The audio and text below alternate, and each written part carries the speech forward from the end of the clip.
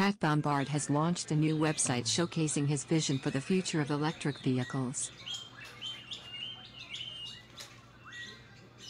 His company, eTruck, brought this vision to life with a fully electric, energy-efficient vehicle fleet. Their mission is to establish these eco-friendly vehicles as leaders in the electric space.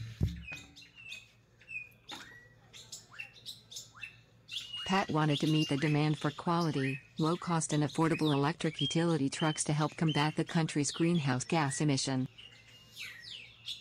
Electric vehicles are a reliable and proven way to reduce this impact.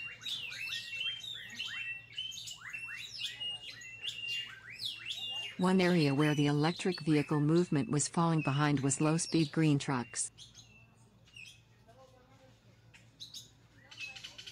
Each vehicle has a 120-mile range powered by a fully electric motor.